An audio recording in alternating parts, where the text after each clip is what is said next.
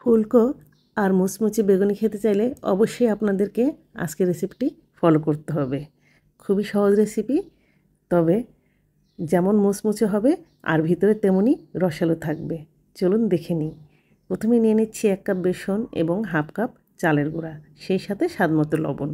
দিয়ে দিচ্ছি ধনিয়ার গুঁড়া, জিরা গুঁড়া, সামান্য হলুদ গুঁড়া লাল মরিচের গুঁড়া, ঝালটা আপনারা আপনাদের পছন্দ মতো কম বেশি দিয়ে নেবেন। আর দিচ্ছি চাট মশলা। সেই সাথে দিয়ে দিচ্ছি রসুন বাটা আর আদা বাটা। এখন অল্প অল্প করে পানি দিয়ে মাখিয়ে নিব। এই মাখানোর কাজটা আপনারা হ্যান্ড ব্লেন্ডারে সাহায্য করতে পারেন। তবে সবার সুবিধার্থে আমি হাতেই করে দেখাচ্ছি। অল্প অল্প করে পানি দিয়ে এইভাবে ব্যাটারটা গুলিয়ে নিতে হবে। ছয় সাত মিনিট ধরে সুন্দর করে মাখিয়ে নিতে হবে এইভাবে। একটা নির্দিষ্ট ঘনত্বের ব্যাটারটা তৈরি করতে হবে।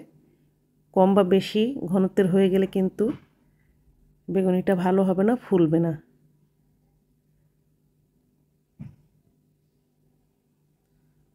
দেখুন, ঘনত্বটা ঠিক এরকম হবে। এখন আমি দিয়ে নিচ্ছি এক চা চামচ বেকিং পাউডার আর কালো জিরা। তবে কালো জিরাটা কেউ না দিতে চাইলে স্কিপ করতে পারেন। এখন আবারও একটু ভালো মতো মেখে নিচ্ছি। মাখানো হয়ে গেল। দেখুন কত সুন্দর কোট হয়েছে।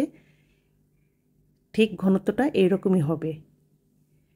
আমি এখানে গোল বেগুন নিয়েছি এবং বেশ মোটা করে কেটে নিয়েছি। আপনারা লম্বা বেগুন দিয়েও করতে পারবেন একই রকম প্রসেসে এখন একটি প্যানে মিডিয়াম তাপে তেল গরম করে নিয়ে আমি বেগুনিগুলো এক এক করে দিয়ে দিলাম এবং দেওয়ার কিছুক্ষণ পরেই উল্টে নিতে হবে তাহলে দুই পাশটাই সমানভাবে ফুলবে।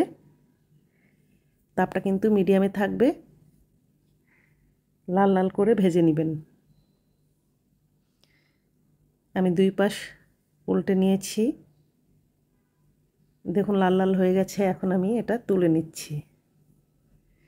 বেশি তাপ দিলে উপরে কিন্তু পুড়ে যাবে, ভিতরে কিন্তু হবে না, যেহেতু আমাদের বেগুনগুলো একটু সাইজে আমরা মোটা করে নিয়েছি। হয়ে গেছে, এইভাবে সবগুলো বেগুনি আমি ভেজে নিব।